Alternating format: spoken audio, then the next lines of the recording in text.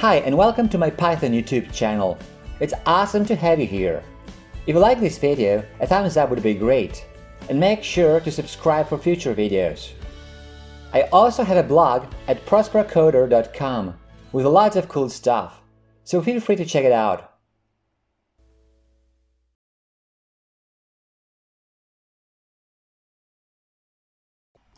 In the previous part we saw how to use buttons in Kivy. The button is a really common Kivy widget. In this part I'd like to touch upon all the other widgets that we'll be making use of, so toggle button, checkbox, text input, and slider. You can also read the written version of this video on my Python programming blog at prosperocoder.com. Let's start with the checkbox widget. The checkbox is a two-state button that can be either checked or unchecked. Later, we'll see that it can be used as a radio button as well, if it's in a group. But for now, let's just have a look at a single checkbox. The main property of a checkbox is active, which is true if it's checked, and false otherwise. The basic checkbox event is onActive, which is fired if the state of the checkbox changes. So, in our main.py file, let's replace our button from the previous part with a checkbox. So, from checkbox import checkbox. And now we want to return a checkbox not a button. Fine. And now here is the Kivy file. So now we're using the checkbox class, not button. And the checkbox should be checked. So we don't need this code. Let's just set the active property to true. save, go back to main.py. If you run the main.py file, you will see a checked box over here in the app window. And now you can uncheck it and check it again to see how it works. Fine. Now let's make the checkbox do something when its state changes. For now, something as simple as printing out a message in the terminal will do. So let's add the onActive event.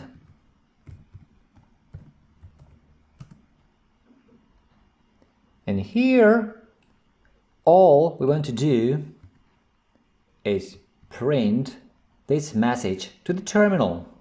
State changed. So save, go to main.py and run the program again. Now try checking and unchecking the checkbox several times. Each time you do, you will see a state changed message here in the terminal. Have a look. State changed. State changed. And so on.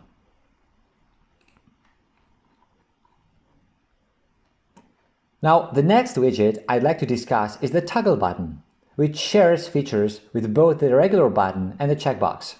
It looks like a button at first glance, but when you press it, it remains pressed, just like the checkbox remains checked when you check it. So it's a two-state button as well. The two states are normal and down. You can set the state of the button to normal or down using the state property. You can use the onState event if something should happen when the state changes.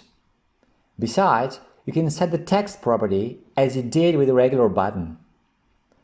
Also, just like checkboxes, toggle buttons may be grouped so that only one toggle button may be in down state, which means pressed, at a time in a group.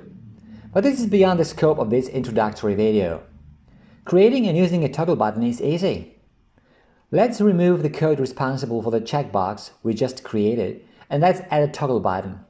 So here we need from kivy.uix.toggle button import toggle button. And naturally, we want to return a toggle button this time. And now, the Kivy file, we need a toggle button. And now, let's get rid of this. The toggle button has the text property, just like a regular button. So let's set it to something like not pressed. Now the state is by default normal. So this line of code is redundant, but still let's type it in state normal.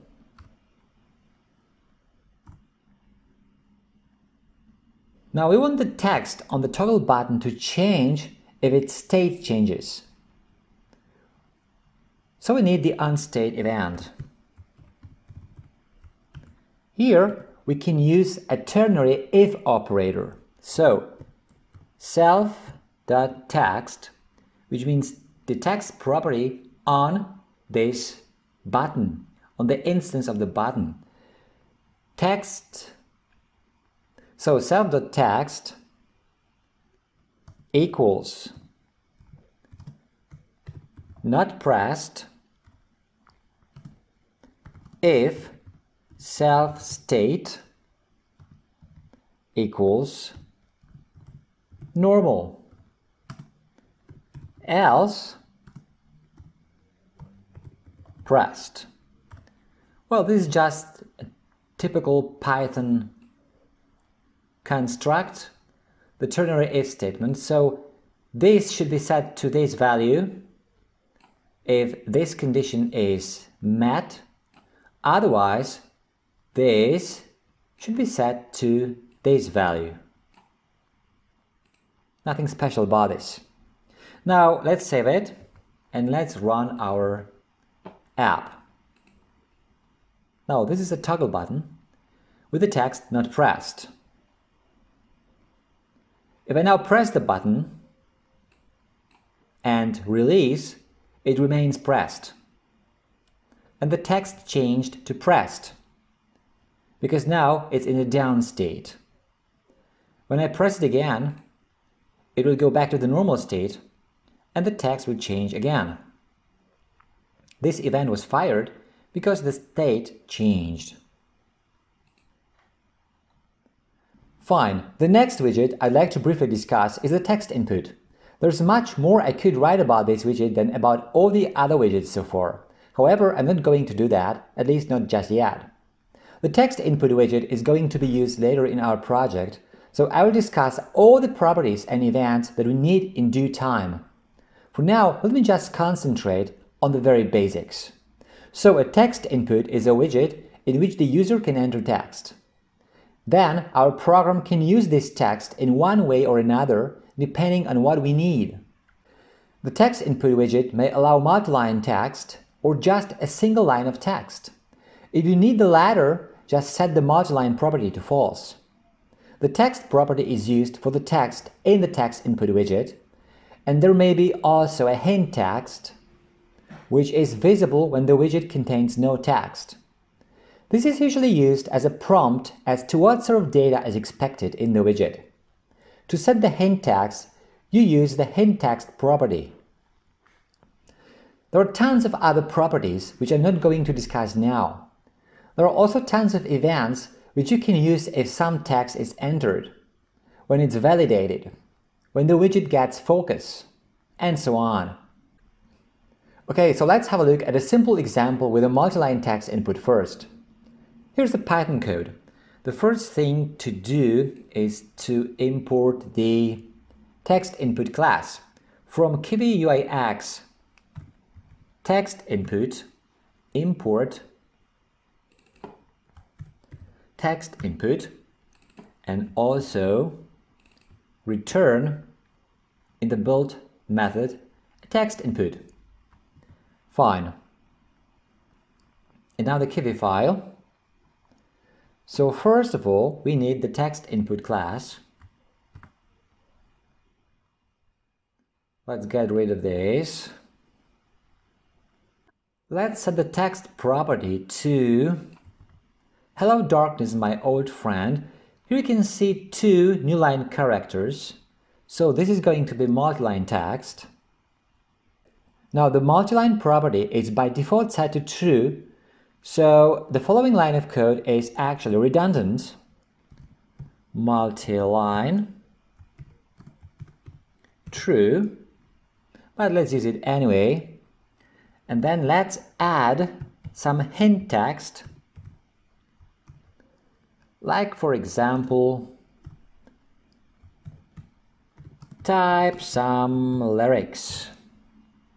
Okay, this is a prompt. Let's save it and let's run the program. Now, here's our text input widget. It fills the whole window again. Here we have the text. Hello darkness, my old friend. With these two new line characters having taken effect. Now click anywhere inside the widget and now you can edit the text. In order to move to a new line, just need to hit enter. And now delete all the text and you will see the hint text that we set in the Kivy file. Okay, and now suppose we want to only allow single line text. All you have to do is set the multi-line property to false.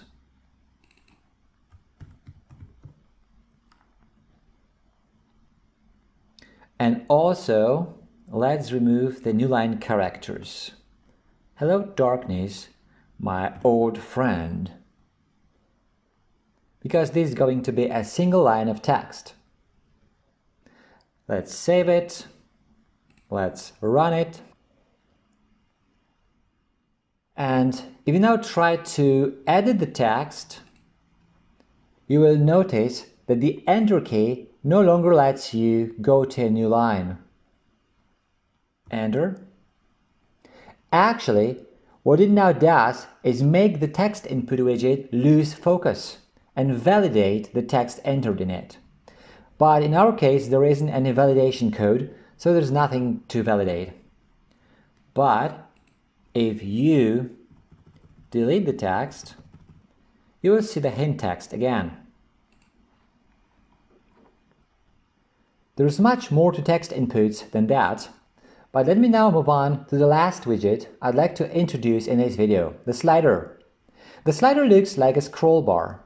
You can use it to set a value between a minimum and a maximum value. The main properties of a slider are min, max, and value, which you can use to set the just mentioned values. The min and max properties are self-explanatory. The value property is the default value. Besides, sliders may be oriented horizontally, which is the default value, or vertically, depending on what you set the orientation property to.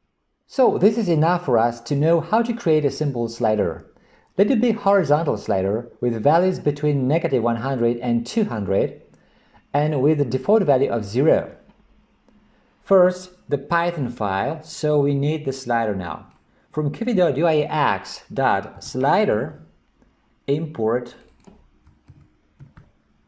slider and we want the slider to be returned. And now the Kivy file. We now need the slider class Let's remove all this. And now let's set the min and max values, which should be negative 100 and 200 respectively. So min, negative 100, max, 200. Now the default value should be 0. Value 0. Now the default orientation is horizontal, so we don't need this line of code but of course, it will do no harm if it's there. So orientation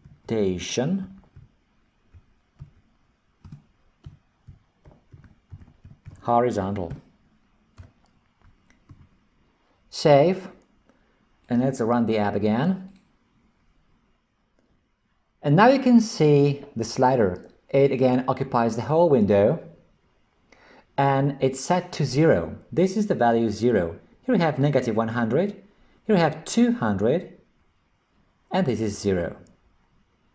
Of course, you can slide the slider to the left or to the right.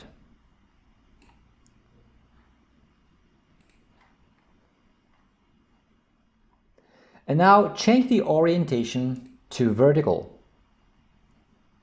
Just this one change. Save. Run again. And now the slider goes vertically from negative 100 over here to 200 over here. And the default value was 0.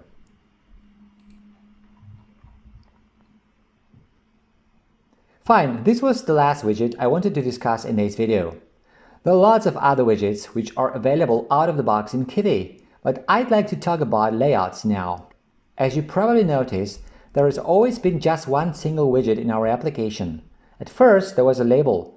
Then we got rid of the label and created a button. Then we replaced the button with a checkbox, and so on. But usually, even the most trivial apps have more than one widget. In our project, there's definitely going to be more. So in order to place more widgets in our app, you have to lay them out somehow. Kivy uses a couple of predefined layouts that you can use. They are pretty flexible and may be nested as much as you need. This enables you to create practically any layout you might think of. But before we discuss layouts, in the next part we'll see how to create our custom widgets.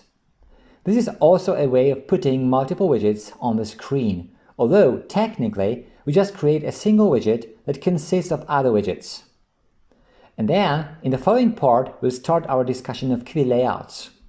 In our application, we'll be making use of several different layouts, so the sooner we start using them, the better. Okay, that's it for this video. If you like it, a thumbs up would be great. Also, make sure to subscribe for future videos. If you want to leave a comment or ask a question, you're welcome to do so. Thanks for watching.